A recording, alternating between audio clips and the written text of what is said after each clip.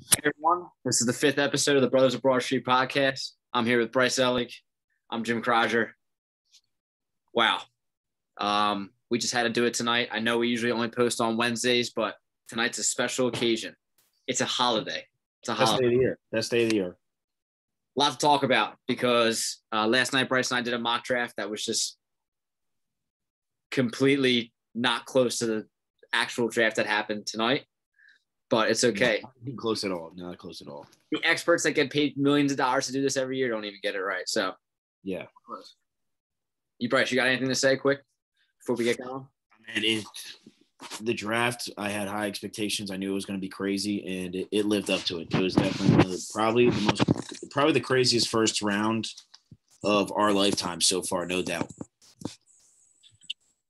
Well, this is all I gotta say. Uh, recap for the Philadelphia Eagles. Great game. Great game. I could not be happier with the way the draft worked out. Getting DeVonta Smith, it finally feels like that organization did not try to outsmart the statistics or anything like that, or beat the math, or pick a sneaky player. They just went out and got the best possible guy. Yeah, for sure. Uh, my point is, and I said this before, and I say it again. Every year, it happens with everybody. And Jim, you can agree with me. There's a guy that goes off in the national championship, and everyone hypes him up, and he's going top three, and then he ends up falling a little bit here and there. And that's why I was so happy with the trade we made because I feel like we still ended up getting the guy we wanted at 10. We get a first round pick next year. We get him for a little less money than we had to pay him. And also, the, at worst, we gave up a third round pick.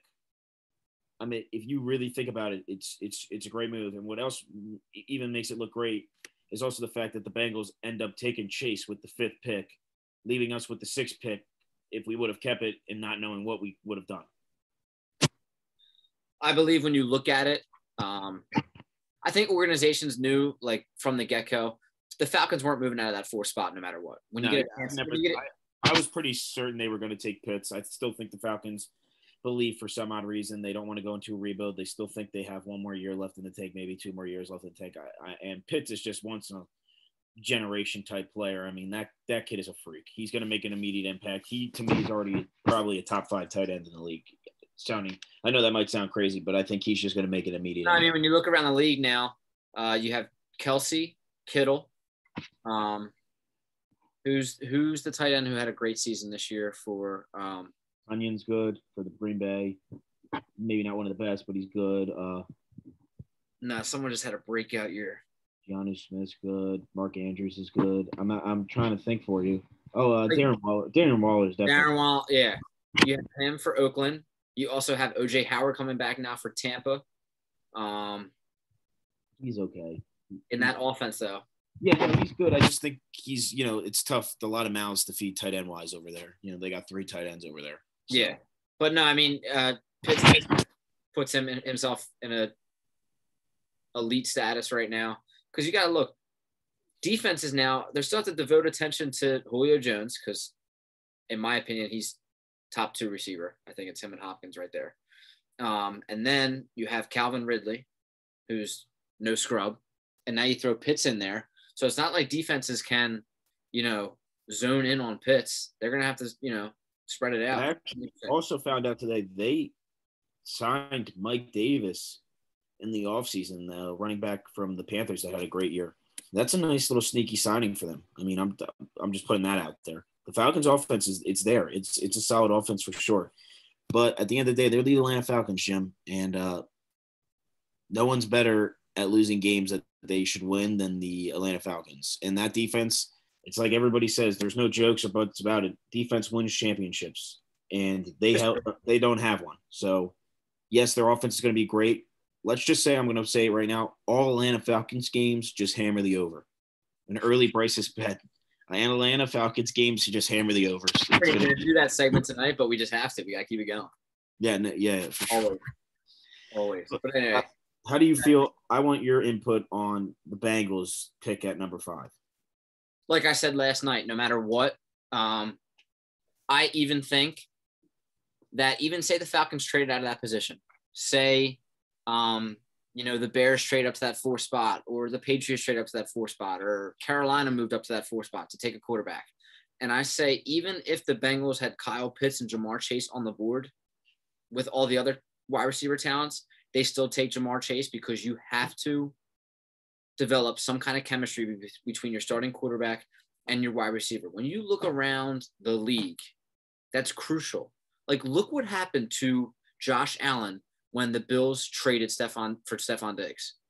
One th- you're one thousand percent right. Allen went. Allen went from a, you know, fringe top twenty, top fifteen quarterback to MVP candidate. But the issue is, and you just got to agree with me, Jim. Here, it's not like the Bengals, you know, gaining like Chase makes their wide receiver core unbelievably great. Their wide receiver core is already like a solid wide receiver core. They don't have a really bad wide receiver core. Tyler Boyd is solid. He's had consistently solid years. And Tee Higgins proved himself big last year. He can make an immediate impact. I'm just saying, to me personally, Penei Sewell is a generational talent. And I saw, uh, I forget the analyst that quoted it, but I agree 100%. And I would bet my money on it too. He sure, no doubt whatsoever, is the Hall of Famer of this draft like like if I had to pick one guy that's going to be a Hall of Famer, it is him. He's a Hall of Fame type player. And I you know, Chase is obviously the sexy pick. You team him and Burrow back up. Burrow obviously was probably in the coaches and GM's ears saying, Hey, I prefer if you take Chase. That's my boy. But I just feel like personally, if I'm a Bengals fan, I'm happy with the pick, but I'd be much more happier with Sewell. It's not the pretty pick. It's it's not you know the, you know the pick you want to see, but Sewell is he's a generational type offensive lineman. They just don't come around very often. It's great, you know, and they last forever, Jim. They last 15 years, those offensive linemen. They play forever. You win in the NFL at the lines. You win on the offensive line, the defensive line. I mean, that's why when you look at it, the Eagles, when they won the Super Bowl, they had the best offensive line and they had the best defensive line. There was, no, there was no denying that. And I see where you're coming from when you talk about a guy like Penei Sewell. Um, the Lions, the the Lions got him, and that was used. They're they're I guess they're all in on Jared Goff. Um, but anyway, um, you have to, in my opinion, you need a safety valve for your quarterback. And I'm saying um, Chase is better than just a safety valve. He just gives Burrow so much more comfort because now Burrow already knows that he's going to have his guy Chase when in doubt, when he needs him. You know, um, I think it's going to take these two a couple years to like truly show their potential together in mm-hmm. Cincinnati because, like you said, Cincinnati still they weren't just one position away. Uh, they need several positions they got to fill, but I also think uh, Cincinnati is uh, they still need a new head coach. I think Zac Taylor personally is gone after this year. I think he is uh, you know he's going in on his third season. He's obviously had like he's been pretty god awful since being there. I'm pretty sure he may have five wins collectively. Yeah. Um, he'll definitely be out of there after this year. They can maybe go out and get like a real off, you know, real head coach. So that I think that will make a huge difference too. People aren't accounting for that. Zac Taylor will definitely not be there next year. There's no doubt in my mind. And then now too, like, um, wide receivers are pretty expensive now. It's like slowly going up. Yeah, they're getting paid. They're getting their guaranteed money. So now, I don't know. The Bengals definitely have a lot of cap space are they able to go this year in free agency or in a trade and get an offensive lineman for cheaper than what it would be to go out and get like a Chris Godwin next year or to get well, a top-notch wide receiver for Burrow? Well, my key point is is that I don't think they have too much cap now. They signed Trey uh Trae Waynes or whatever uh to a big deal last year that's turning out to be a bad deal because he's not a top paid cornerback whatsoever. And they signed uh, that guy from the Saints, Trey Hendricks. They signed him to a big deal. They gave that guy a lot of money. He's also a huge risk. I do say one bright spot for the Bengals is they have uh, Williams coming back, the offensive lineman they took last year out of Bama. He was out the whole year with an injury, but obviously it's good to gain a legit first round. That probably influenced their decision as well. Yeah, that definitely did. But I don't know, Jim. I mean, how, how I see it, and I'm pretty sure most people can agree, and you can agree. Sewell at seven is possibly, I believe, probably the biggest steal in the draft. That guy should nowhere near should have been on the board at seven. Uh, I get the Dolphins were set on Waddle at six. I don't think anything was going to change their mind. I think they've been set on Waddle for probably at least a week or two now. But uh, to me, I mean, the Lions, they just were literally like, we can't mess this up. We we have to take Sewell for sure. Sewell's definitely the pick. In my opinion, when you talk about the biggest steal, um, I think it's Justin Fields going to Chicago. I love Fields, and I'm telling you, before we made that trade, I thought we were taking him. I texted you and I said, I think we're taking him. I was around here. I was walking around the house. I'm clapping. I'm like, we got him. We got Justin Fields because I think that dude is going to be that good in the NFL. I just do. I I mean I, have given my opinion on Fields. I but slowly as you know time kept going on, I was getting more bought into him. I thought he if you go back to the first episode we filmed, I thought for sure bust. And slowly but surely he was gain I was gaining more respect for him. I was watching more on him. He's definitely not as bad as I thought. And I thought for sure, and I was with it in the and you know, I was watching with a couple friends, they were with it too. If he was there and we stayed at number 12, he no doubt whatsoever would have been the pick. Because here's what happens if if say we stayed at 12, say we did not make the trade with the Cowboys, the Cowboys select Micah Parsons still with that pick. Yeah. They got their guy, they got their linebacker. The Giants just drafted a wide receiver. They would have drafted DeVonta Smith and then yeah, they had DeVonta Smith, yeah, but it's not a, a Gettleman move to. uh Gettleman does not trade up. Uh, he's been a GM for multiple years, not just with the Giants, but with other teams. He's never traded up in the draft ever. So that's why I, I, think the Eagles knew that. I think they had an opportunity. And at the end of the day, man, if you really think about it, the Eagles end up getting their guy and plus a first round pick and only end up giving a third round pick. Plus, they save a lot of money not picking him within the sixth pick instead picking him at the 10th pick. That's something people don't think about. Howie Roseman made it. Getting, I know uh, when you talk about getting the guy, yeah, they, the DeVonta Smith was definitely on their. I think he was their guy. I really do. I think. I, I think, disagree. I think they knew for a fact Smith was going to go five. I think everyone kind of thought that. I think obviously there was like inside sources. People were really, you know, Burrow Burrow must have been really pushing that. I think Waddle. I think the Eagles would have been happy with Waddle, but I th- definitely think they would take Smith over Waddle. I do. I think they made the trade at the time that they did because they thought before with the sixth pick that hey they might have a chance at Kyle Pitts being there or at Ja'Marr Chase being there. And then, like you said, then it kind of got pretty certain that the Bengals were taking Chase. And then when no one, you know, really made a trade with the Falcons or there weren't any rumblings, and it's like, all right, the Falcons are taking Pitts. And that's when the Eagles made their move. And not to say that you're you settle for a guy like DeVonta Smith. That, that's not settling at all. No, that's not. Then settling. you do you do get one of your guys. You know what I mean? Like you you, you get a very solid player. Well, I definitely I don't know about you, but when Jaycee Horn went off the board at eight to the Panthers, which, which, was a shock. I definitely still think it's a good pick. I think the Panthers were really trying to trade out of that spot and they weren't able to. So they kind of just took, they probably had that scenario, you know, they probably planned out that scenario, said they were going to take Jaycee Horn, which is a really good pick. That team is, you know, really solid. That adds another great secondary piece. Obviously, how their offensive line? Their offensive line is okay. It's solid. I, I would honestly would have picked Slater in that spot, but they went Exactly. Like for me, I think they were. I think they were really banking on somehow, some way, Detroit pulling a Detroit, hoping that Dan Campbell and they also Detroit also has a new GM. They make mistakes. I think the Panthers were really banking on them possibly making a mistake and not drafting Sewell, but they ended up taking him. They weren't able to get Sewell, so I think they kind of just took the guy they believed that was best on the board. I think they, I mean, a lot of GMs, from what I read, believed that Jaycee Horn was the better cornerback than Surtain. Which, uh, listen, you can make arguments for both. I both think they're great. Uh, but I definitely think the Panthers were trying to trade out of that spot. I don't think they wanted anything. You know, I don't think they wanted to pick at eight. I think they wanted to probably possibly gain another third round draft pick, move back a couple spots, and maybe have a chance to take Slater at a pick they feel more comfortable at. But uh, Jaycee Horn's not a bad pick. But what I was saying is that pick was like the only time in the draft that I would kind of panicked a little bit.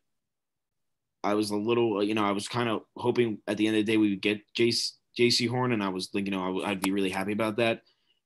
And that's when I kind of knew this draft. That was a huge pick. That would that really swayed the draft because I think the Broncos really didn't know who they were going to pick either. Another team that wanted to trade out of their spot end up taking best guy available in Surtain, which screwed up the Cowboys bad. Because yeah. I think the Cowboys obviously were banking on getting Surtain. I'm happy they didn't get him. I mean, obviously they end up getting Micah Parsons. That kid is a stud. But you know, I think then the Cowboys were like, wait, I rather trade back with, and I think that's I honestly think that's when Howie Roseman saw his plan. I think he immediately was like, I have to call the Cowboys. I have to make this trade. I know the Giants are going to take, you know, I know the Giants are going to take Smith, and he made a great move, and we got the guy that you know some people didn't think we were going to get. Some people did think we were going to get. We ended up making a great move, and you know, there's a lot of excitement. This is the first time in a long time where I leave, I you know, I go to sleep on the first round of the draft, and I'm I'm genuinely excited with the pick we made. I like all let jokes aside, I haven't been excited like that in a long time. Before this show started, I was thinking to myself like, I can't remember the last time, you know, Wentz I was extremely hyped for, but he was like the last pick in my lifetime that I was hyped for. Other than uh, Wentz, I was opposite of you. Uh, I was opposite. I did not want to take Wentz. I was not bought in on it. I, I wanted Ramsey. I remember. I really wanted us to take Jalen Ramsey. I mean, that was like the last pride, you know, time in my life. I'm trying to think. DeVonta Smith, I was hyped for. I. It's always a different element though with getting a quarterback. Like that's a whole franchise. Yeah, it's yeah, different. Like wide receiver is exciting. It's cool. Cornerback, cool. Whatever this and that. But nothing beats drafting like a quarterback like that's why I mean part of me was excited. Like I was like I thought we were going to take Fields, and I was excited for it. I'm not gonna lie. I was I definitely was like man. I was starting to look up some Justin Fields tape again. I was like, could you imagine what that would have done to this fan base? Because that would have been no, because I think I I personally think that every logical football fan, aka me, you, people that actually watch the Eagles and know how the draft works, knows for a fact that at number 12, if Justin Fields is somehow still on the board, you take him. You have to. You have to take him at 12. Take the best player on the board at the time.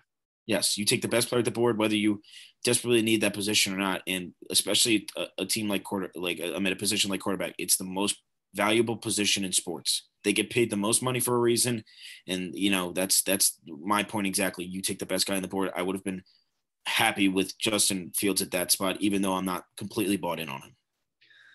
And when you talk about you know pick the best player at the board at the time, you're very high on this guy. I think Carolina made a mistake taking Jaycee Horn, especially with a guy like Surtain still there. I don't or get, or get DeVonta Smith. Like you know, like we had a conversation last night. You want Horn or you want DeVonta Smith? And in my opinion, I wanted um, DeVonta because I wanted Horn. You wanted Horn because obviously Horn's a stud, but I wanted DeVonta because our wide receiver room is terrible. But in Carolina's situation, who do they have to help out Sam Darnold? I just personally like. I mean, I, I think you can agree with me too. I definitely don't think Carolina was looking to pick in that spot. I think, you know, if I, I noticed, I watched their time go down. They were down to like 30, 40 seconds. I definitely think they couldn't make a deal happen. And then probably for another a minute, 30 seconds, they all sat there and decided, listen, who are we going to take?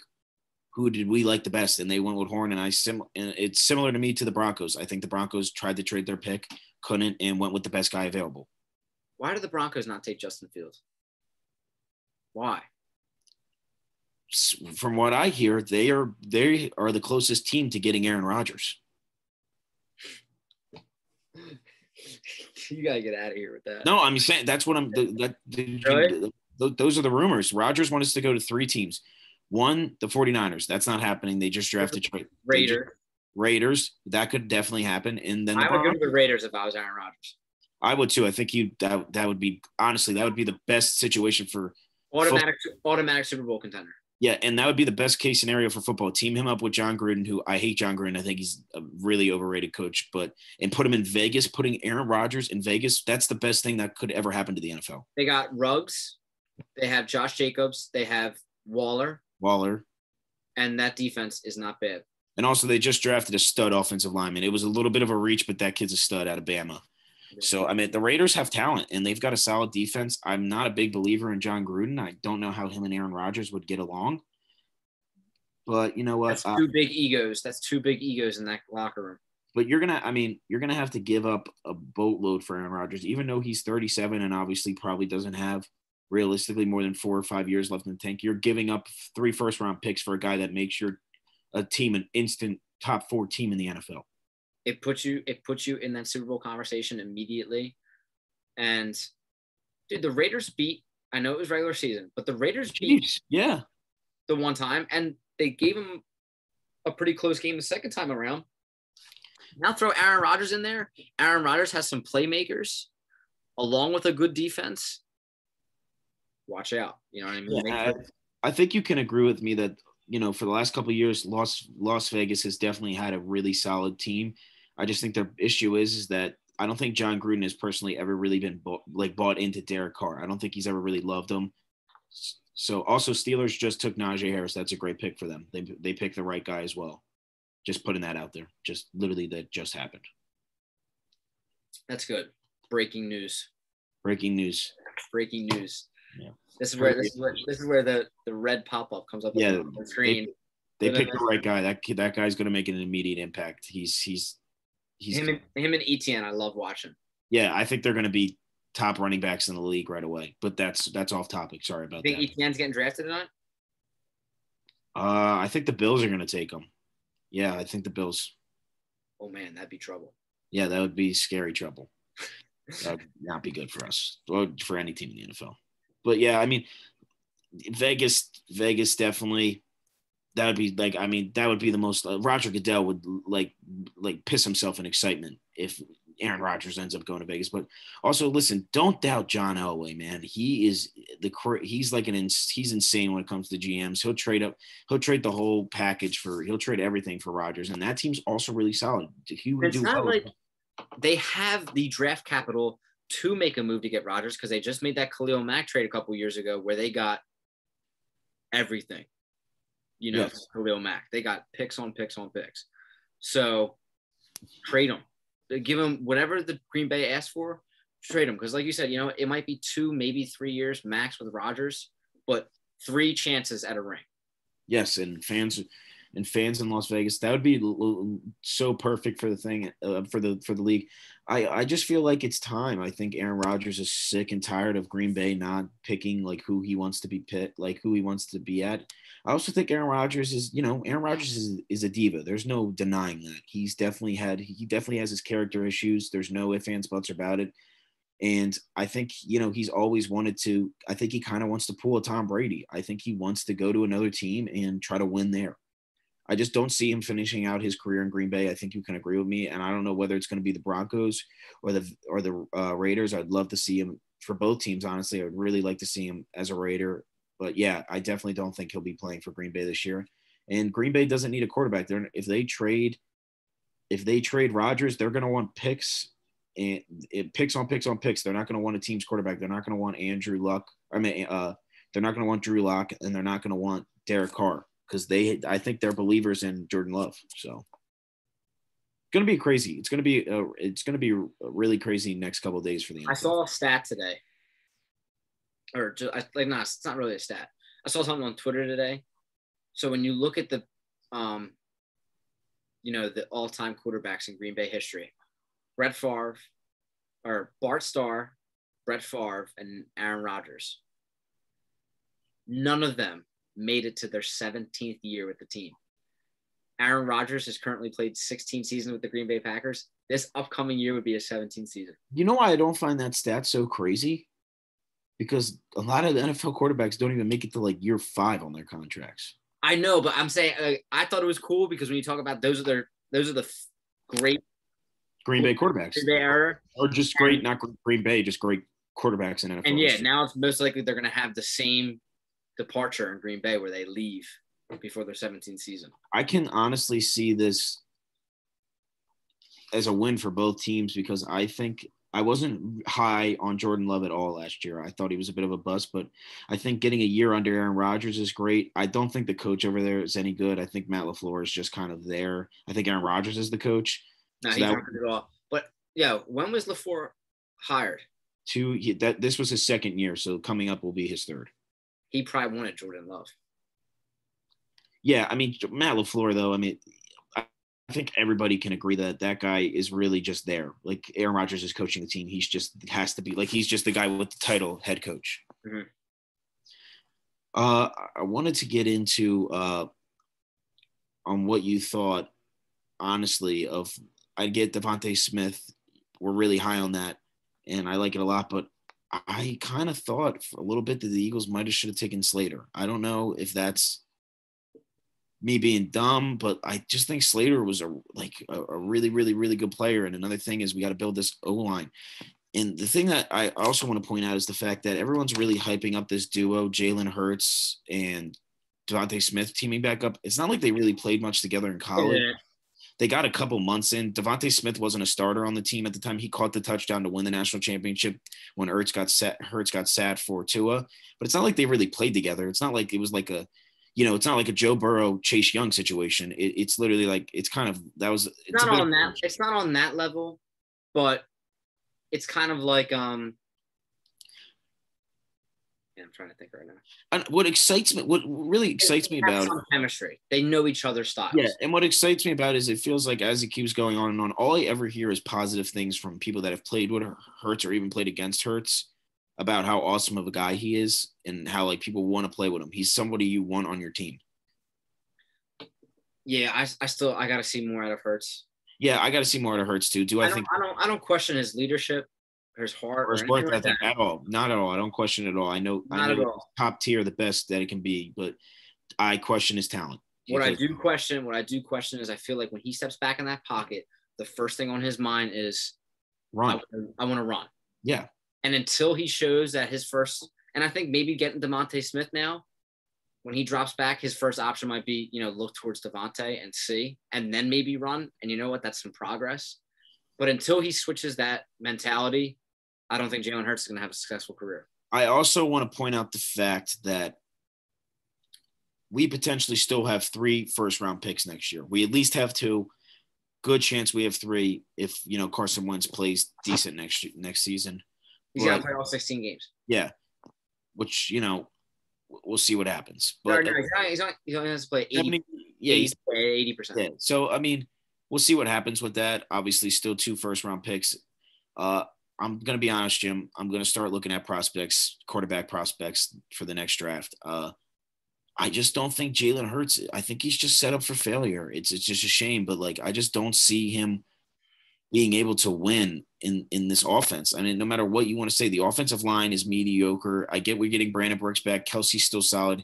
Lane Johnson, I, I like him, but he's definitely not what he was.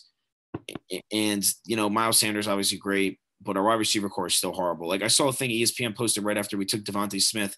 They're like the Eagles offense with like heat emojis, Jalen Hurts, Miles Sanders, DeVonta Smith, Jalen Reagor, and Zach Ertz. And Zach Ertz isn't even going to be on the team within the next couple days. That I, I I just said LOL to that. That that's still a horrible offense. One thing that Nick Sirianni needs to do that Doug Pederson did not do this year for some reason I'll never know. In my opinion, Miles Sanders is a top 10 running back in the league. I agree. Prove to me otherwise. The only thing that anyone has against him is the guy does not run the ball. He has no carries whatsoever. Yeah, he never runs. Yeah, and I saw a stat like he had he had the same amount of 50 yard rushing touchdowns this year that like the top three running backs had, and they had like 50 more carries. Yeah, well, that's what you got to love about Sirianni because obviously he's coming from Frank Reich and the Colts, and they're a run first team. They run the ball all day, all night long. That's why they brought back a guy like Jordan Howard and I, I mean, I wouldn't be surprised if they pick a running back within one of these, you know, in later picks. I could see them definitely adding another guy. They still have got Boston, Boston Scott there. They, I, I don't know. I mean, I doubt it. Corey Clement's probably still going to be invited to training camp, but I definitely still see the Eagles picking up.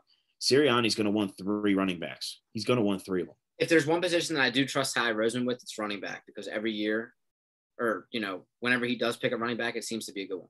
Breaking news. Breaking news. Travis Etienne off the board to the Jacksonville Jaguars. Teaming him and uh t- putting him and Lawrence back together. oh. Yeah, but I, I, I don't think that's necessarily the right pick for them. Uh, with you know they James with Urban Meyer. Yeah, but James Robinson had a great season. I, I think they could have used they could have probably picked somebody else. But Bryce, Bryce, Bryce, Bryce. You want Travis Etienne or you want James Robinson? You're right. You're right. No, you're right. And teaming him back up with Lawrence. That's just a crazy pick. I did not see that coming. Did not see that coming. That's insane right there. That's that's hype. Yeah, that's, that, that's crazy. They're going to win two games. The team's still horrible. Yeah, but but the, having those two now for the next five or six years, because Etienne oh, running back running back careers are short. Trevor Lawrence is going to play obviously close to 15, but he's going to play 20 years. If, yeah. if all if all works out, when you pick somebody number one and overall, you expect at minimum 15 years out of him. Yeah, Lawrence is 21 round now. I expect he's going to get to at least 36. But then you get Etienne. Etienne's going to have about five or six good years in him. He's a stud. Yeah. Yeah, and obviously, I mean, you, you know, James Robinson, I don't think is going to come out and be unbelievable again, but he's definitely he definitely can play. He's definitely a good running back. It's good to have two guys there. Yeah, he's not. He's good to have back up Etienne. They're building. They're building up a, you know, they they're building up a solid little offense for him to start his career out there. I know they added Marvin Jones, and I know they, you know, Laviska Shenault, the rookie last year, had a solid year. He and they have a, they also have a Travis uh, or Tyler Eifert there. Obviously, I know his he's not what he was. He's yeah. He's a good veteran guy to have out there to learn from him. And he was a Pro Bowler at one point in his career. So I think mm-hmm. I, I, think he has a little bit of a better setup than most number one overall pick quarterbacks have coming into their rookie season. Yeah. No, um, so I gotta ask you now, what are your thoughts on your boy, Trey Lance? Did you expect so, that? Did you expect that? To be honest. No, I thought for sure Mac Jones, and honestly, it was the dagger to my heart. I think it made the draft a little less exciting. I was really hoping they would take Mac Jones because I'm not gonna lie, Jimmy, I still had faith. I still had him back in my head. Maybe he's there at 12. Maybe he's there somehow, some way, and the Eagles can take him. But oh man, the Niners hit it on the nose. And I do, I you know how yesterday they said, "Oh, we have our pick set in stone. We know who they're taking." I think yeah. that was a lie. I think they changed their mind. I think they decided they're going to take. I think John Lynch. I know John Lynch really loved Trey Lance, but I don't think uh, Shanahan did. But I think John Lynch was able to convince him otherwise, and I think the whole entire scouting department and everybody, you know, I think you know they were able to convince him about Lance. Lance is a stud, Jim. I mean, he is, and he's like I just said. You know how Lawrence they're building up there. He's jumping into a team that's really good. That team is not that's he's not going to play though this year. Yeah, he's probably not going to play. Jimmy Garoppolo is your Alex Smith. Trey Lance is your. I'm not saying Trey Lance is Patty Mahomes, but Trey Lance is your Patty Mahomes. Bring in a guy upside, huge upside, that gets to know the system for a year and then boom. Because I, I, mean, the Patriots have their quarterback, so they're not trading for Jimmy yeah, Garoppolo. And I like I, have their quarterback; they're not trading for Jimmy Garoppolo. And I also uh, I also like the fact that uh, they're able to get a guy that uh, you know, Jimmy Garoppolo is a guy that learned under the best. He learned under the best quarterback to ever play this game. You know, he got some wisdom off of him. So he'll be able to translate that to Trey Lance. Trey Lance will sit a year. And also, Trey Lance is jumping into a perfect situation. That's not a dysfunctional organization. You got a guy like Kyle Shanahan who's had success literally everywhere he's gone. He's a phenomenal head coach. And he, you know, I think he, he can, you know, really tap into his potential. I think he can really open up everything he's got. Plus, you're teaming him up with I think Brandon Aiyuk coming into his second season, going to be going into his third third season, is going to be a great player, like a really, really, really one of the top wide receivers possibly in the league by the time he takes over. They're going to have a ton of running backs. I mean, next year they'll probably end up drafting one too. They always do. They're running back by committee. Yeah, I mean they got Coleman, they got you know they've got a ton of guys over there, all really solid. Mostert and uh, yeah, and uh, what's his name? Who I, I always was a big fan of. He played for the Vikings. He's I, I forget the oh, name. Oh, um, uh, he's a great. Breida. Breida. Yeah, no, no, not. Breida's uh, over with uh, Breida's with Miami. Uh, I forget his name. Jerick McKinnon. Jerick McKinnon. McKinnon. McKinnon. Another good player. Obviously, George Kittle's the best, one of, if not the best, tight end in the league. And I'm sure uh, Deebo Samuel coming back, a guy that was hurt off last year, had a great rookie season. They're going to build up. You know, they got a solid offensive line. They'll make the right picks. Their defense is really solid. Nick Bosa coming back. I honestly, I wouldn't be surprised somehow, some way. Obviously, if the Chiefs keep their team going and Brady's still in the league, they're still there. But I really see them as Super Bowl contenders in in 2023. Like I, I, I, really, I per, I really do, Jim. I think the not in 2023 or 22. 2023. So not this year, the next year. Okay. So I don't see him winning the Super Bowl or anything like crazy like that coming into this year, but the next year, I can see them winning the Super Bowl. I really do like I said, I, will continue to say it. I don't deny Lance's athletic ability or anything like that. But another stat came up tonight when they were talking about the draft, and to me, it's alarming. Like it's flat out alarming. The last ten quarterbacks to win the Super Bowl, the last ten years, the last ten quarterbacks, to, or no, no, not the last ten years, the last ten quarterbacks to win the Super Bowl. Guess how many career passing attempts they had in college? Oh, a ton over over like 1200 1200 passing attempts in their college careers okay how many passing attempts in college does your boy trey lance have 348 318 bryce this man has not played in college And I listen, and I res- And and I not like I said, I don't doubt the athletic ability. Is the film? He's a stud. He runs people over, and he could sling the ball down the field. But he played two years ago in 2019, through all those touchdowns, no interceptions, whatever. And then he opted out of the season last year due to COVID. The dude has not played in two years. Can I make a quick, let me make a quick point? Let me make a quick point. Can I make a quick point? Go for it. Have you noticed? I don't know if you've watched interviews about him, watch him talk. He is unbelievably mature, and you don't see that out of a kid like that. I'm not. I'm not. I don't. The maturity off the field, okay, but when it comes to maturity and experience in that, and But that's what's huge. But that's what's huge about him potentially sitting out this whole entire season and getting to learn. That's huge. The difference between him and with Wentz is Wentz played throughout college. Trey Lance didn't even play at a lesser level of college football because that's literally what it is. He won a national championship and never lost a game there. He won a national championship at the FBS level. I know, but you, you would be ripping him apart if he didn't win it. The North Dakota State winning championships, they win them every single year. It doesn't matter who their quarterback is. They're I know, but- Alabama of I know, but one day, one day there's going to be a guy that goes there as the quarterback and doesn't win a national championship, and it's going to suck to be that guy. But it wasn't Trey Lance. That's all I got to say. I'm not denying the kid's ability to play. He can play. That's a concern when you only throw 300 passing attempts in your college career. That Jim, you're not wrong whatsoever. You're not wrong whatsoever. It, it is definitely a concern. But now me, that's why I, that's where I agree with you. I don't think he could have gone to a better better organization. He could have not gone to a better organization. Now, Maybe the go- Patriots. now, if you go, yeah. Now, if you go to a team like Denver or you go to a team like Carolina, now he's in a quarterback competition. He's probably going to get thrown into a fire of an organization that are just awful. And I'm not uh, Carolina's not bad, but you know Denver hasn't been good since Peyton Manning left. And now Trey Lance has no experience, and now defensive tackles from the NFL are coming out. Yeah, I think a huge difference is I much rather have Kyle Shanahan be my coach than Vic Fangio. Oh yeah, especially yeah, Vic Fangio is defensive minded, and then and that shows too because he picks Surtain. Yeah, I, I think I think you know it and I know it. I'm surprised no one thought of that because no one thought of that Surtain to Denver. Yeah, well, I was actually talking to a Broncos fan yesterday, and he said, "I said, who do you think you'll take if you go at nine? I said, I think you'll take Fields because I thought Fields would definitely be there at nine. And he said, Yeah, possibly him. Uh, he's like, We're definitely not going to take defense, and he actually said, uh, We're especially not going to take cornerback because we're already stacked at that position. But I think Broncos took best guy available, and you can't fault them for that. Can't never. You can Yeah. never listen. One thing about the NFL, you can never have too many good cornerbacks. You can never have too many good ones. True. It's it's, I it's mean, because they're always rotating in and out. They're always you know putting in a different. You can put them in the nickel. they get hurt. They get hurt. and Yeah. It's probably the biggest position when injuries. Honestly, next to wide receiver and running back, it's probably right there with injuries.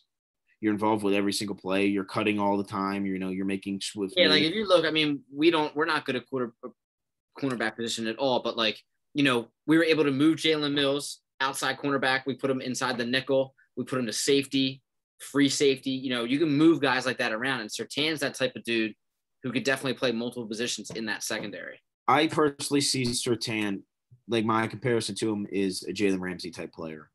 I think he can come in right away, and I think he can just be like like Ramsey was. Like some years it takes cornerbacks to develop a little bit. It takes them a year or two to get used to the league.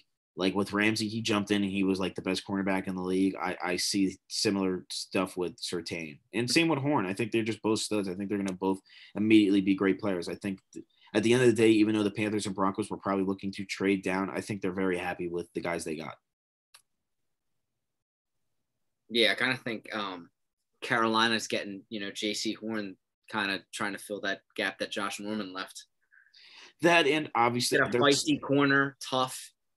Their second cornerback on their team. Guess who their second cornerback was this season?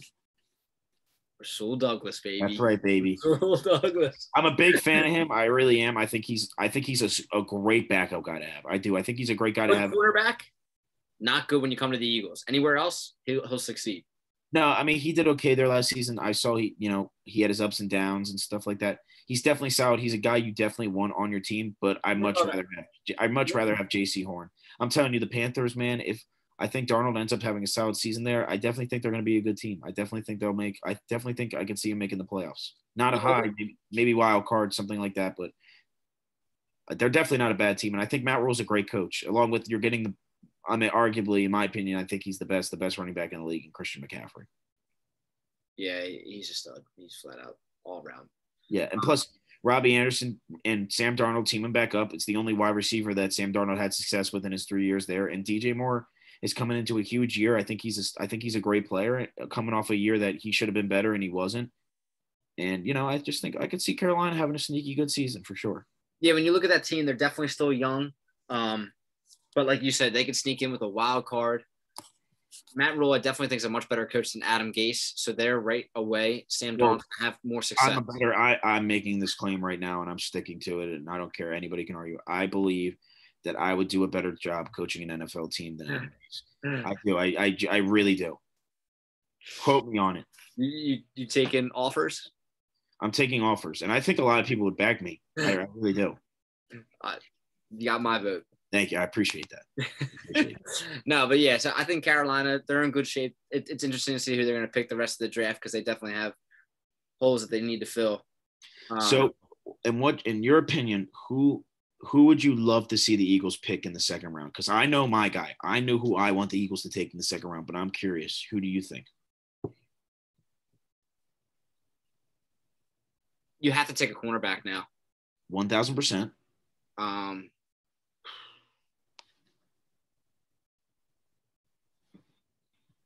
Mm.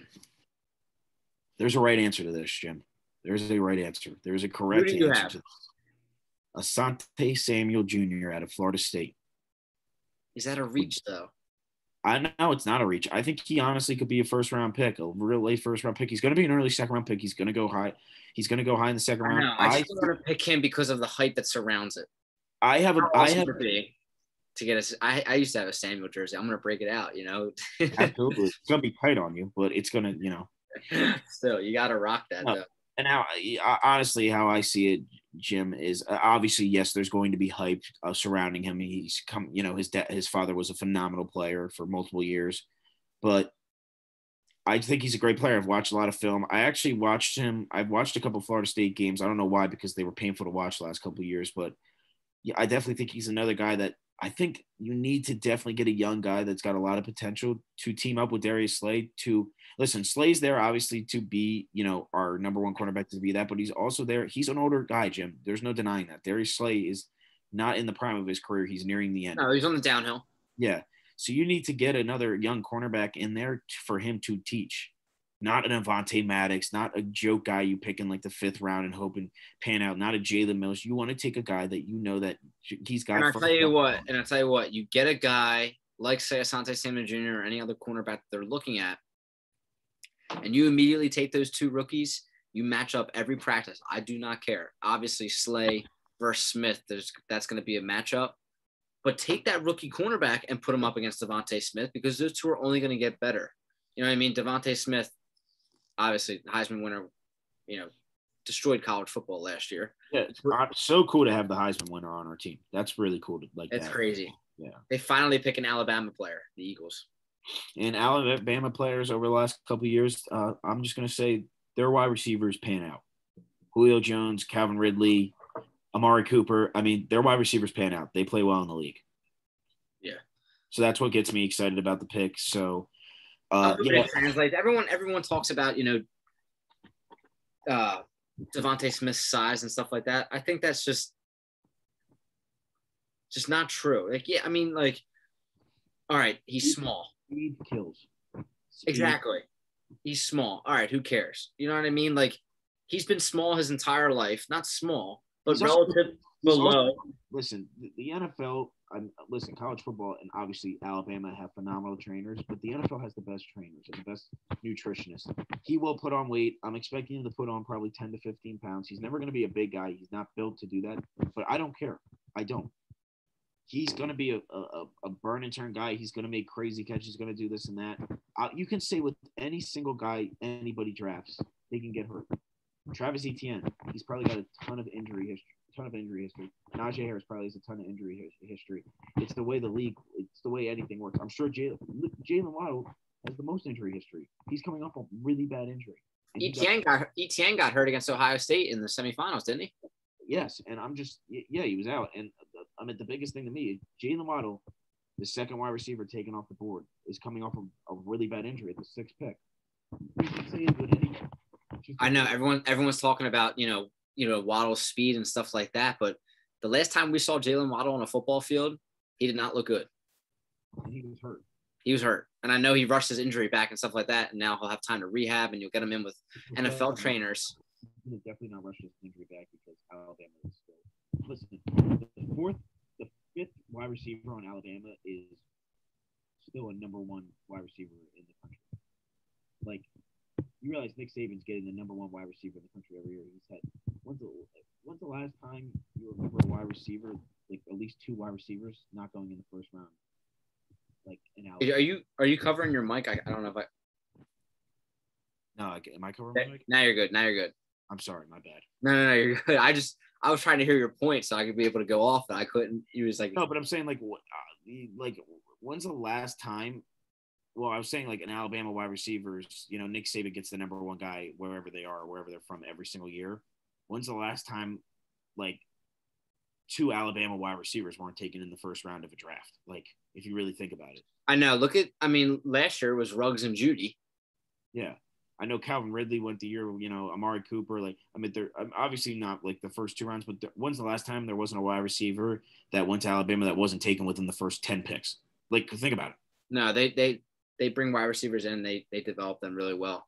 Because those guys, I mean, those are the type of guys that like I know this sounds crazy, but you it only happens here and there. Those are the type of guys that are ready for the NFL like out of high school. They're so good. Last year, Alabama around the NFL, there was Alabama had 22 NFL starters at each position. They had a starter at each position from their program. That just goes to show how much of a juggernaut they are, and that's why you got to pick guys like that from systems that translate to the NFL. From top schools. And, you know, I'm excited to see how this Hurts thing rolls out. I still want to bring everyone back to earth. I know how it gets exciting around the draft. I know how you can get up and win now. I want everyone to realize the Eagles are not a win now team. They are no way, shape, or form in a win now mode. Our division has gotten a lot better. Washington's looking solid. I'm happy they didn't end up getting a, a quarterback falling to them because that would have been scary. They would have ended up with a Fields or a Jones. But, you know, they're looking solid. The Giants, you know, they're looking really solid as well. And the Cowboys offense is going to be deadly. And their defense got a lot better today with picking a guy like Micah Parsons. They're going to have a real, you know, two really solid linebackers on their team, even three solid linebackers on their team. They're going to get better. Every team in our division today got better. In my opinion, Eagles as it is right now, dead last place. Dead Absolutely. Last place. I just don't see like everyone and everyone keeps arguing me saying, I at best, at best, Jimmy, best case scenario, I see us winning five games at best. Like at the we looked at the schedule a couple weeks ago when we brought Kevin on, and they're not really they're not they're a four win team. They're a four win team. They're they they're, say that the Eagles have the easiest schedule, and then I look at that schedule, it's not easy. No, it's not easy at all. I know we play the Bucks in the in the in the and the Chiefs, which is terrifying. That's just like that's the scariest thing ever. The only thing that can potentially get them to five wins this year is that extra game that they have to play now because the season got extended. Other I agree. That, other than that, they're not because you know what they they might get you know the game at the end of the year, whoever they play. I don't know who they play. That team could be in the playoffs already, so they're not going to play their guys. They're going to rest their guys for that week, and they're going to be able to get a win. Also, I think you can agree with me on this point. Joe Flacco's playing this season. He, he he is playing this season, no doubt. I can see him starting two games, maybe even three games this season. Get get him going with DeVonta Smith. Super Bowl MVP. now, for me, the DeVonta Smith pick, one, it kind of pisses me off a little bit because everyone, all the draft experts, everyone was saying you got to get this guy DeVonta Smith. I mean, he was number three on Mel Kiper's draft board. On McShay, I think he was number five. Like everyone knows DeVonta Smith's that kind of talent. Okay, last year, everyone knew Justin Jefferson needed to be picked with that pick. And you go and you try to outsmart the experts, all the analysis, everything like that. Could you imagine the situation we'd be in right now? We'd have Justin Jefferson. Now, depending on how this season goes with injuries and stuff like that, maybe this year you'd be able to take an offensive lineman. Or imagine you link up Justin Jefferson and DeVonta Smith. Yeah, I mean, or imagine you make that trade up. Maybe, you know, say you got the 12th pick as it is, then you could trade up even further to a Carolina or something like that and get your cornerback. Now you're in such a much better position. Yeah, I, no, I, I, agree. I, I agree 100%. I think the Eagles finally, and especially Howie Roseman, I tweeted today, and I've been saying for a long time, and you know me, Jim, I, I'm a Howie Roseman guy. I know that sounds crazy. You like him. I have no idea why you like him, but you like him. Because I have faith in him, man. I do. I think he makes phenomenal trades. And, you know, people at first were not liking the trade that we made going six to 12, but man, did it turn out great for us. And I think you can agree on it. It turned out so, so perfect for us. We end up getting – you know, the same type of guy. Eh, eh, eh, to me, man, I think he's making all the right moves. I tweeted today and I said, I know this is hard for you Eagles fans, but have faith. Howie Roseman will get the job done today. And I think you can agree with me. He got the job done today. And it's still, it's still early. I want to see how next year's draft turns out. But but what I'm saying is I'm feeling very comfortable with the position we're at, considering the fact that we're definitely in rebuild mode and we're potentially have three first round picks next year and we got the guy we needed this year at wide receiver. And you know, we got a solid little team. We still got the a couple little young guys here and there, but we're definitely in the right direction towards you know building this team. We're going towards the right direction. At first glance, I did not like the trade. You know, when I first saw it pop up on my phone, I'm like, you know, what the heck is this? I was opposite. I was the opposite of you. However, he made the right decision tonight. It's going to be interesting to see, you know, next year, obviously, who he picks with those picks. But also, I think that DeVonta Smith gives the Eagles organization a little bit of flexibility because now, if you look at it like this, okay, you could tell the fan base, you could tell Jalen Hurts, we got your guy. All right. We brought you in a number one wide receiver.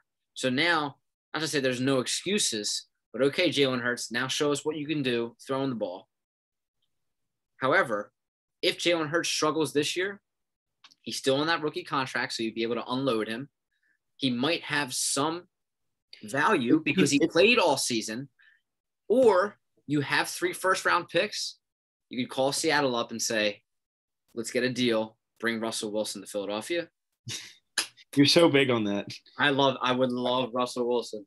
So would I. They were, they were calling about Deshaun Watson before everything came out about him. Yeah, well, I don't even you know they were calling. I, am being honest. I, I, could see Deshaun Watson never playing in the league again with the way this thing's going. With the way it sounds, yeah. Russell Wilson obviously still on the market. I don't care what anyone says. He's not happy in Seattle. He's definitely not. He's not. Uh, listen, none of these quarterbacks are happy to where they are. Rodgers wants out. Wilson. It's similar. You know, Pete Carroll is very similar to. Uh, I want to say Urban Meyer. It always ends ugly. It, yes, the mayor. Yeah at first the marriage is nice. It's really nice in the middle, but then at the end it ends ugly. It ended ugly for USC. It ended ugly when he was with the Patriots all those years back. He, you know, he leaves on ugly terms, and clearly him and, uh, you know, him and uh, Russell are definitely not on the same terms. I don't think they've been on the same terms for quite some time now. But Russ wants to win. I've always thought that Pete Carroll's been in Russell's corner. I'm not sure if the GM and the whole organization has been in Russell's corner. I just find that so unbelievable. I mean, he's a top three quarterback, and they don't, and they and, and they want to get rid of him. There's definitely, there's definitely some break off, some dissension in that organization because I think Pete Carroll's on his side because of the decision that he made with that third down play on the goal line. Yeah. So there, I think he was on his side, but I think the organization was more on the side of the Legion of Boom, Sherman, Chancellor, Bennett, Wagner. They like those guys because those guys were brought up before Wilson. Yes, they're a defense wins champ. I mean, they're big on defense. exactly. So I think that there's some kind of like the GM doesn't want to bring in anybody for Wilson because he probably thinks that Wilson's you know closer to the end. Pete Carroll wants his guy Wilson to succeed. I don't know. I think Wilson's definitely going to be gone within the next. Not, he will not finish his career in Seattle. That's for sure. No shot. No chance. Yeah. Uh, I'm not gonna lie. When the Eagles made the trade today with the Cowboys, which is also shocking. I never think division rivals rivals for, should ever trade with each other, but uh, I thought for sure Zach Ertz was involved with that deal. Dude, could you imagine him in, him in a Cowboys uniform? It would be ugly, but listen, I don't even think he would like it. we have to unload Zach Ertz. Uh, we got to get rid of him. He obviously does not want to play with the Philadelphia Eagles anymore. He wants to play with Wentz. My prediction is for that. I see the Eagles moving up maybe about six to seven spots in the second round and uh, drafting a cornerback higher and dumping Ertz at the same time with that other pick just to move up six spots. Spots. I, with Zach Ertz, it's about dumping his salary. Honestly, that's that's what this move's about. It's about dumping salary. Yeah, well, Ertz obviously before the year started, he wanted the contract extension. He Which- didn't get that. How He he made it, but how we made a phenomenal move not extending him because I didn't want to extend Ertz because I knew I like Zach Ertz a lot, but I always believed for the last probably year and a half he's not even the best tight end on our roster. I think Dallas Goedert has much more potential than he does. I know that sounds crazy, but it's No, just but I know, I know, but uh, when Dallas Goedert is Eagles do a good job of developing tight ends. They've had some solid tight ends over the years. Brent Celek, Ertz, Burton, uh, Goedert, you mean the goat. Trey Burton is the goat. Burton. Um, you know, they they Even Richard, even Richard job. Rodgers is doing a good job. At, you know, he's had a couple. not bad. Yeah. So I mean, they've done a good job with tight ends. Zach Ertz is the all-time best tight end to ever come in the Eagles. I just don't want to see him leave. I can't see him in another uniform. I, I agree, Jim, but listen, it's a business, and Zach Ertz is not nearly what he was. I mean, he's just not. He's not. He's not. But Bryce, how bad did you want Jenkins? You know what I mean? Bad.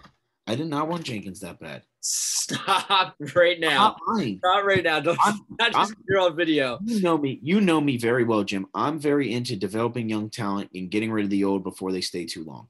You thought we should have kept Jenkins though at the end of that year. I know you. I know you wanted to keep him.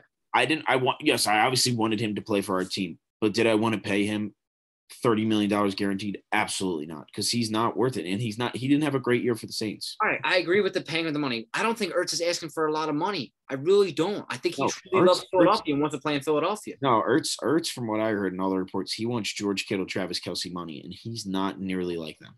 He's not. He's not even. You can't even compare him to Travis Kelce and George Kittle. Those guys are freaks. Ertz can't break a tackle, Jim. Let's cut to the point.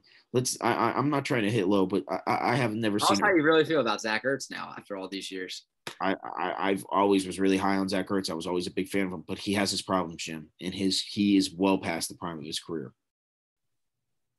It's time Dallas. If this is what- this is going to be Dallas Goedert. What third or fourth year? Oh, you can come on.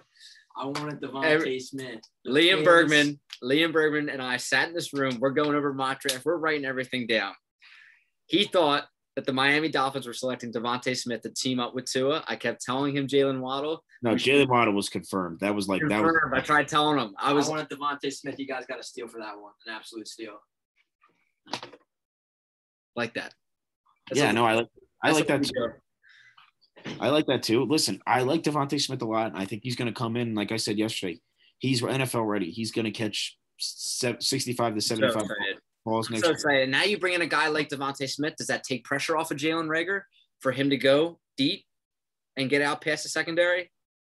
Jalen Reagor did not have a bad season last year. He didn't. No, he, he didn't have a bad. He He didn't. was hurt. You know, Jim. Wait, he didn't have a bad season. He had actually a god awful season.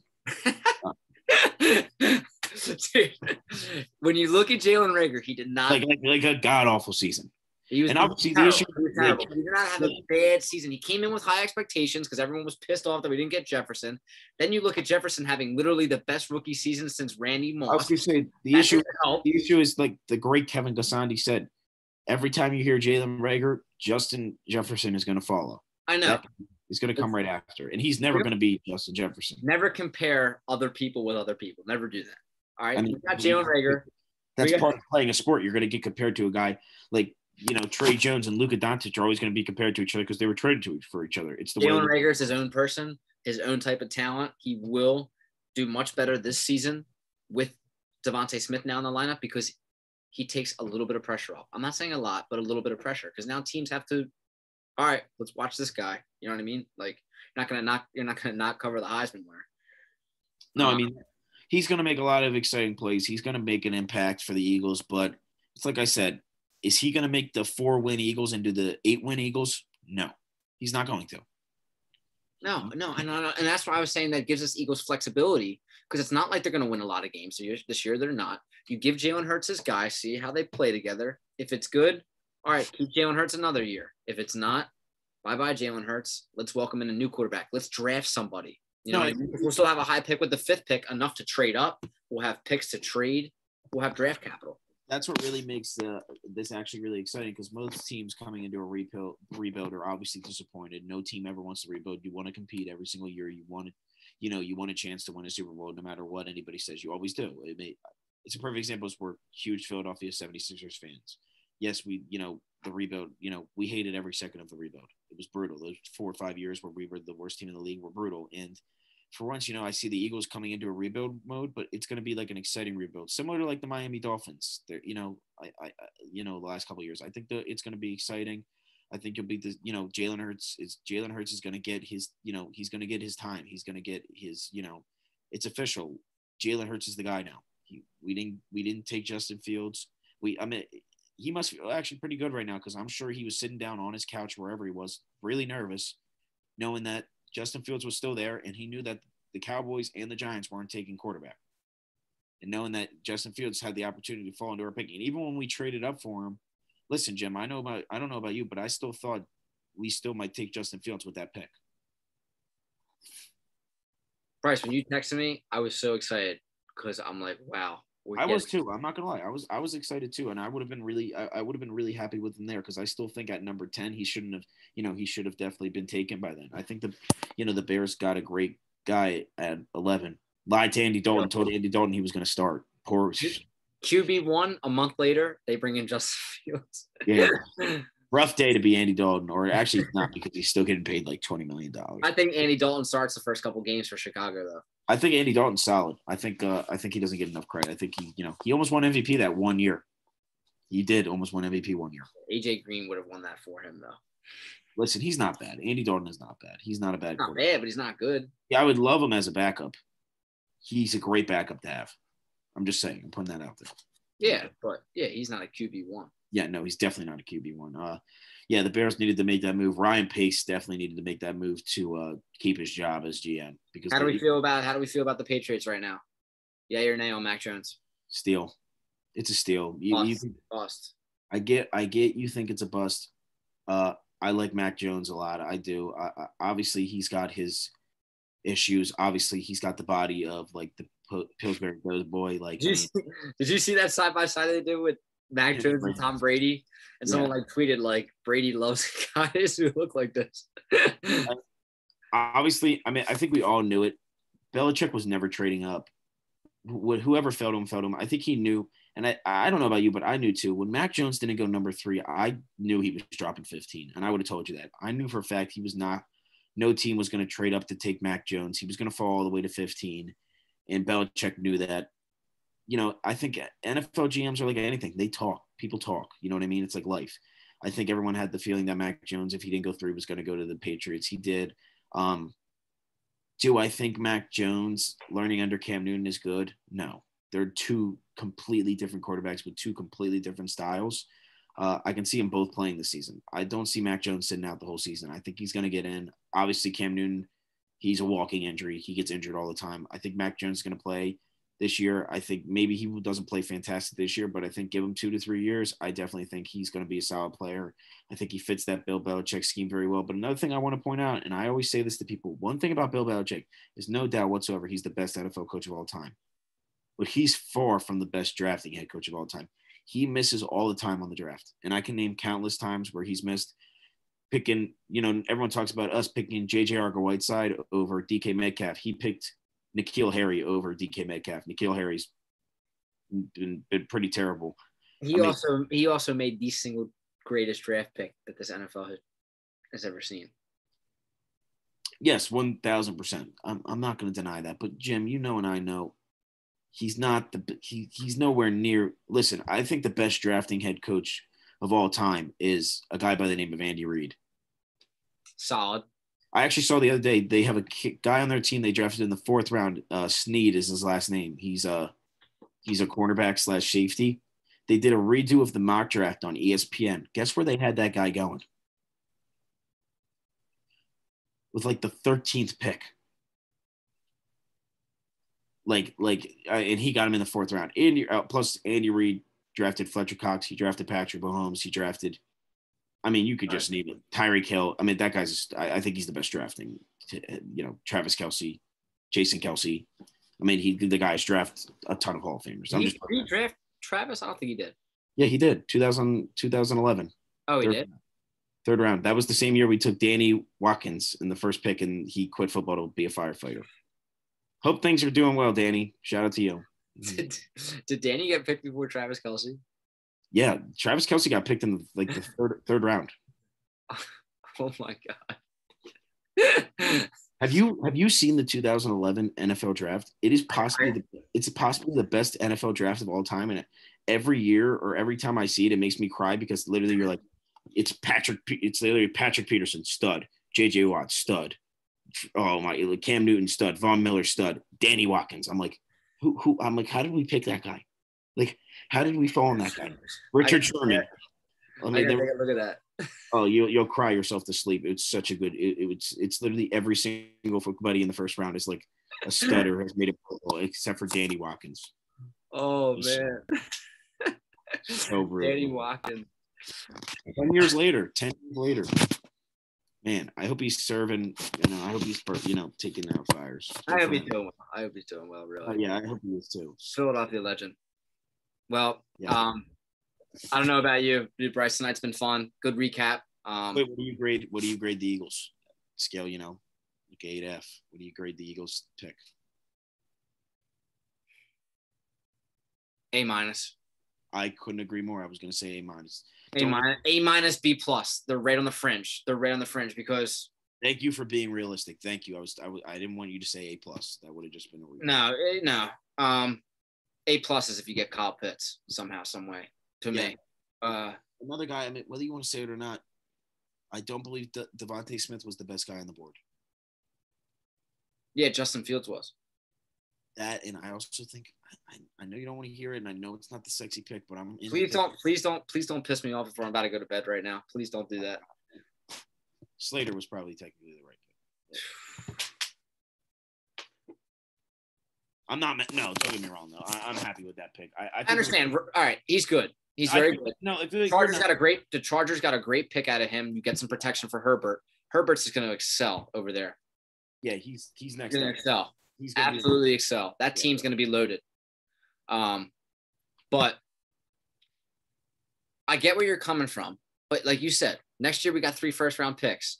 I could, if I had to put my money on it, say Jalen Hurts has a good season this year, I'll put my money on an offensive lineman, a defensive lineman, and probably like a corner next year. You know what I mean? I mean, the ideal situation would be if Jalen Hurts doesn't work out, quarterback, offensive lineman, cornerback. That would be I think when you look at offensive lineman, you got to get a center next year because I think Kelce's last year is this year. Kelce's de- definitely done this year. He's there's So no I think you got I think you got to pick a center next year. But like I understand our offensive lineman last year, I think we had 26 different offensive lineman com- combinations, which is absurd. And that can't happen if you want stability at the quarterback position. well. Hopefully, another guy, another another guy who hasn't gotten a shot yet. Andre Dillard. He was still a first round pick. Arguably, he was the number one guy in that draft that year. He hasn't gotten a chance to play, and yes, he's been disappointing. And he was having a horrible uh, training camp before that happened. You know, he's still got to get a shot. Hopefully, from right now, they haven't signed him. And please, uh, Howie, if you're listening to me, because I think you are listening to the podcast because you have listened to some of my tips. I think he is listening to the podcast because he heard us last night, made a decision today, obviously, traded up third round. So yeah, he's definitely listening in. Yeah, no, he's definitely listening. And Howie, I hope you know I've been backing you. I'm the only Eagles fan in the country that has been backing Howie, you. I have no faith in you whatsoever. I know somebody other than you made that pick. So whoever made that pick, I thank them. I also wait. I want to. I want to take back something real quick. I do want to take back something. back something. I was, I was a big hater on Nick Sirianni. Nick Sirianni, however you pronounce the name. You saw that video with him throwing footballs outside the stadium. Yes. now you love him. I don't love. I don't. I don't love him, but now I can root for him a little bit, and he's getting better. I, I was listening to an interview with him and Harry Rose. told you about this weeks ago. His passion for the game of football is unmatched. Yeah, I mean, obviously, it's He really loves the game. It's tough to bounce back from that interview because it was atrocious. But Up there with Adam Gase's. Up yeah, there. yeah. But Adam Gase was also like on like Adderall. That guy wasn't even like. I mean, Nick Sirianni was dead sober. He just like talks like that. Yeah, he's just getting adjusted. I think you know. I, I I like him a lot better now. Do I still think he's gonna do anything special with the Eagles? I still get him. I still see him getting fired in two years. But you know what? Today was a great day to be a Philadelphia Eagles fan, and I haven't been able to say that in probably about three years. Honestly, today was a great day to be a Philadelphia Eagles fan. I feel like finally we're our you know our head is pointed in the right direction. I do. Wow. I'm still interested. I'm still waiting. I, I We need made the right move. We made the right move tonight. Tonight we made the right move. finally for once. Um, it still makes me upset because I think we should have made the right move last year. We wouldn't be we wouldn't even be in this position this year. But anyway, that's beside the fact. Um, Can't dwell on the past. the rest of this weekend, we got a lot to look forward to. We're going to see if Zach Ertz gets traded. Obviously, we're going to see if the Packers move on from Aaron Rodgers. That's going to be interesting. I think that the Eagles, like you said, we got to go cornerback um, now because when you look, you feel the need of wide receiver. All right, you get a good guy in that room. The cornerback position is definitely light. Um, I wouldn't be surprised if Howie tries to snag a defensive lineman or an offensive lineman. You know, No, yeah, man, we're definitely gonna we're definitely gonna film another episode uh, coming up at the end of this draft when the draft's all said and done. We're definitely gonna talk about some picks. I mean, there's still a ton of picks. The Eagles still have a ton of picks, and there's still a ton of you know we could still draft a ton of players that I- Go ahead. we could still draft a ton of players that could end up being all pro studs, could be the best player to ever play the game. You never know. I mean, there's plenty of guys that go in the fourth and fifth round and end up being excellent players. Oh no, there's know? definitely uh, there's definitely going to be studs out of the later rounds in this year's draft, um, because it's I mean, so deep. Tom Brady. Tom Brady was a you know a, s- a six round pick. I mean, one ninety nine. It's the example I always use. No one's you already know, Tom Brady though. We're not. no, but I'm saying I'm saying, I'm saying there's always going to be a you know you can always draft. diamond in the rough, definitely. You can always draft the stud. I also do think uh, I want to point this out there. I do think an Eagles take. I do think the, the Eagles take a quarterback in this draft. I do think they take a quarterback. Now, where do you think Kyle Trask has fallen? Uh, I heard the Steelers are really into him. Uh, I heard I- the Buccaneers would pick him with that last overall pick. well, they just picked. They just picked Joe Trojan, like Trojan, con- like Trojan condom. Um, That's what I was, who who who who is that? he's a linebacker out of I don't know where, but yeah, he Kyle Trask is not. I, I was gonna say if they pick Kyle Trask, Doesn't With- matter. They're, winning the Super Bowl again this year. yeah, I mean I wouldn't doubt it. I'm I'm I listen. I told you, Jim. I They bet signed on, Antonio Brown back. Come on now. Yeah, I bet the listen. Jimmy, I showed you. I was betting the Bucks the whole entire playoffs. I I was I'm a believer in Brady. I don't doubt that man anymore. Never doubt. Never doubt. Yeah. So yeah, uh, I think uh, Kyle Trask. I think the Steelers will take him. I do. I think the Steelers might reach on him a little bit in like the second or third round. You always have to account the Steelers are going to take a wide receiver in the second or third round every single year for the last ten years. They take wide receiver either first, second, or third round. And for the last ten years, they always they're going to take a wide receiver in one of those spots no matter what. So. Yeah, I think the Steelers take it. I don't think Kyle Trask is anything special. I don't think he has an NFL arm whatsoever. Uh, I've watched, I actually watched a lot of videos of him in college. I, I don't even think he was phenomenal in college, honestly. I just think Kyle Pitts really made him look a lot better than he was. And plus, the Toney, who just went first round to the Giants, also made him look a lot better. There's always a lot of talent in UF. They always have great wide receivers and great tight ends. They do. They they they they they develop really well over there, and you know they get impact players. Uh, another quick thing before we go, I want to mention, he's back. Who? Tim Tebow is back. Tight end Jaguars. Imagine that offensive unit. Lawrence, Etienne, Tebow. I mean, Super Tebow, Bowl. Super Tebow, Bowl. Tebow hasn't played since 2012, so nine years. That's actually wild that he's going to come back. And I Real actually, quick, real quick, off the top of your head, before we go, who won the draft tonight? uh, I'm going to say the Detroit Lions won the draft tonight. Man, you love Penei Sewell, dude. Do, do you know him? Like, what's going on? Do you, do you are you guys friends? He's, he's I think he's a I think he's going to be a first ballot Hall of Famer.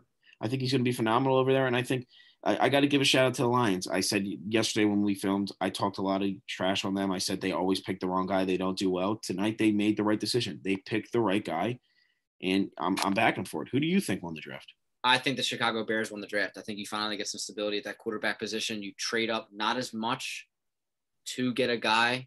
But also, Has you, can't, you can't say who won the draft yet. I mean, obviously, there's still six more rounds. We'll I, am just saying the first night. The first yeah, night. first night. Yeah, no, yeah, but again, Just yeah, face value. you got to agree with me, man. I mean, Penei Sewell, that's the steal, man. Getting him at seven, he should have not been there. He should have won at five. I feel like you guys are buddies or something like that. That's why I'm not going to say anything. But I, I mean, if if Penei Sewell went to the Bengals, I bet you say the Bengals are winning the draft. No, I wouldn't have said that. I wouldn't have. I, I, not, I also want to say my sleeper team that also won the draft. You're not going to agree. You're going to disagree heavy. You know where I'm going with this. The Giants. Patriots. Oh. No, I think the Giants actually made a bad pick. I think the I I think don't they think so. They got a lot of they got picks for next year. no no I'm saying I'm saying no the I mean the guy they picked they picked that wide receiver out of UF I think that was a reach I think they should have taken uh, Elijah Moore out of uh, Ole Miss I think he's a better player there. Yeah, Giants are good at developing wide receivers though. I yeah mean, obviously yeah. obviously if that kid even becomes half decent he'll end up being a success over there it's not like I mean they they, still they don't expect that kid to be the number one. yeah they got Slayton they got Shepard and obviously they just paid Golladay seventy million dollars for a reason so Yeah. yeah. It was a good pick. It wasn't a panic pick. They more picks. They more traded back. I mean, that was a great trade for them. They are they get a pick. Yeah, that's yeah. Also, right, you know what? I'm, I think I I also want to say real quick one more thing. The Jacksonville Jaguars. Before we go, Jacksonville Jaguars also did very well. I, I like. I like. I'm a big fan of get uh, adding. Obviously, Trevor Lawrence is Trevor Lawrence, but also getting Travis Etienne, his teammate, to pair him up. It's always good to get a familiar face in a locker room. I was just about to say when it comes to comfort comfortability, that helps Lawrence make his adjustments to the NFL. Urban Meyer now will be able to look at film from Clemson's past couple seasons. They'll be able to see what kind of plays work well with those guys. Like I tweeted earlier, Etienne's the next coming of Jamaal Charles. I think. I agree with that. I think that's a perfect comparison. fantasy stud, Stud, PPR legend. legend. Drafted him both years. He tore his ACL. Still hurts. All right, brother. Well, thanks for coming on. I appreciate this. We'll Everyone, coming tune in. we'll, we'll be coming out with an episode at the end of the draft. We'll talk about our winners and losers and uh, get into more of what the Eagles do. 100%. See, I'm I'm really excited for the second round. I'm I'm really real real excited to see. I'm excited to see where they end up. You know, the owner. It's going to be crazy these next couple of days. Eagles are finally on the way up again. We got DeVonta Smith, Heisman winner. Let's go.